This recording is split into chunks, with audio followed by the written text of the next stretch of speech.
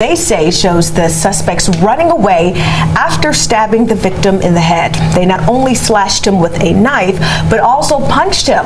Police sources say the suspects could be a part of the Trinitarios gang, the same gang that police suspect is involved in two other stabbing cases that occurred later in June, including a 14-year-old on the Bronx River Parkway on June 18th and the stabbing death of Lesandro Guzman Feliz, better known as Junior, on June 20th. Neighbors in the area are concerned.